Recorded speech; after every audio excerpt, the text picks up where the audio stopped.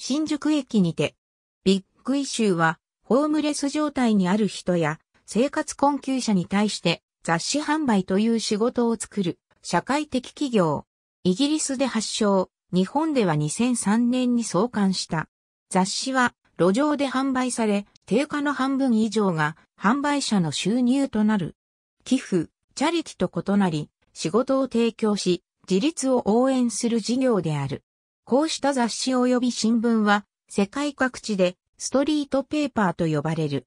1991年、イギリスの化粧品製造会社の創業者であるゴードン・ロディックがアメリカでホームレスのみが販売できるストリート新聞を見かけたことをきっかけに、知人でホームレス経験のあるジョン・バードに依頼、調査してもらった。すると、事業としてロンドンで成功するだろうという結論を導き出した。英語のイシューには問題と出版物の発行の二つの意味がある。紙面内容はホームレス問題をはじめとする様々な社会問題のみならず、著名人のインタビューなどエンターテインメントの側面も重視している。1991年にロンドンでビッグイシューの第1号を発行した際は大成功を収めた。その後、イギリス各地は元より世界各地に広がり、各言語への翻訳と発行地域での独自取材した記事を組み合わせ、野良猫だったボブとビッグイシューの販売者をしていた青年の実話を元にした映画、ボブという名の猫幸せのハイタッチで日本を含め世界的に知名度が上がった。イギリス女王エリザベス2世が一度購入したことがある。英国版のビッグイシューは週間で発行部数は8.3万部。販売者数は通常期で1583人。定価は3ポンドで販売することで1冊につき1.75ポンドが販売者の収入となる。日本では2003年9月より大阪市にて民間シンクタンクの代表であった佐野昌司が中心となって日本語版を発行するようになった。体裁は A4 版カラーページで32ページ前後。発行部数は約2万部。創刊当初は月間だったが、その後各週間となった。発行元である有限会社ビッグイシュー日本に登録し、顔写真とナンバー入りの身分証を交付されたベンダーと呼ばれる販売者のホームレスから通行人らが購入する。販売者は活動中、身分証を胸元に提示している。定価は450円で、最初の10冊は無料で提供される。それ以降は1冊220円で仕入れ、販売することで1冊につき230円が販売者の収入となる。なお、創刊から2007年9月までは、定価200円で1冊あたり110円が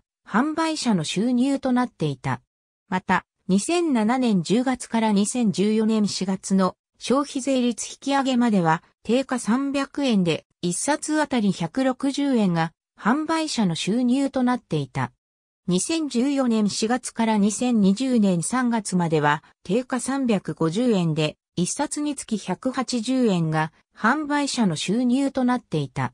2019年9月1日現在、創刊から16年で842万冊を販売、12億7、630万円が販売者の収入になり、延べ1869人が登録、202人が就職口を得ている。2010年度に全国で約160人いた販売員はホームレス全体の減少を反映して約110人に減少している。販売地域は12の都道府県に広がっているものの、部数はピークの年間69万冊から39万冊に減り、採算ラインを割り込んだ。ビッグイシューは、ホームレスの減少自体は喜ばしいこととしつつ、定期購読者の募集などの対策に取り組んでいる。販売員に対しては、道路の使用許可を得て販売しているのか、という疑問を持つものもあるが、実際には、道路の使用許可は必要はない。有限会社ビッグイシュー日本のほか、認定 NPO 法人ビッグイシュー基金も販売者の住宅支援や健康支援などを行っている。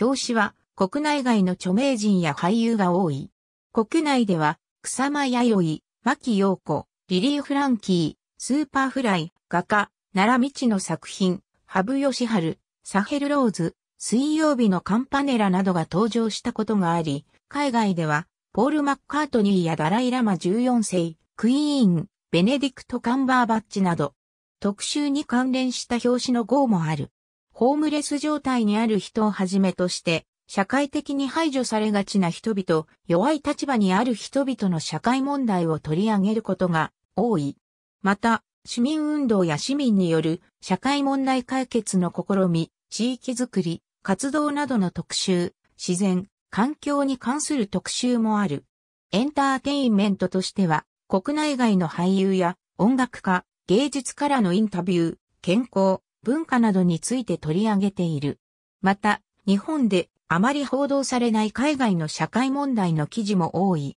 連載には、大の漫画家、ウィストポンニミットが描く、コミック、マムアンちゃんや、宇宙、地球、人間、池内良の市民科学メガネ、天宮かりんの活動日誌、原発ウォッチ、浜のり子のストリートエコノミクスなど、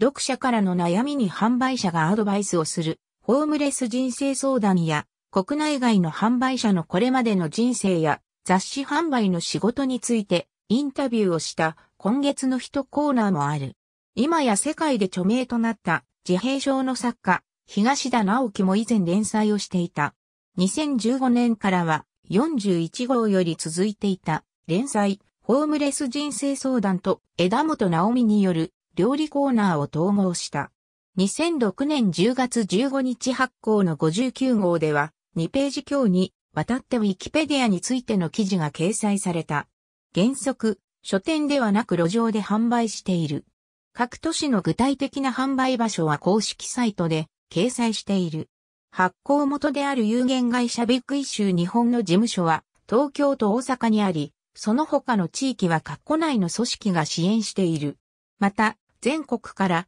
定期購読による協力を呼びかけているほか、全国のカフェやショップ、映画館などでも販売している。図書館で読めるところもある。ビッグイシューオンラインでは過去記事などを配信している。雑誌の連載などを書籍化し、発行している。書籍は雑誌よりも単価が高いため、販売者の収入分も多くなる。台湾版のビッグイシューは月間で発行部数は2万部。販売者数は通常期で90人。定価は100新台湾ドルで販売することで1冊につき50台湾ドルが販売者の収入となる。韓国版のビッグイシューは各週間で発行部数は1.5万部。販売者数は通常期で約90人。定価は5000ウォンで販売することで1冊につき2500ウォンが販売者の収入となる。ありがとうございます。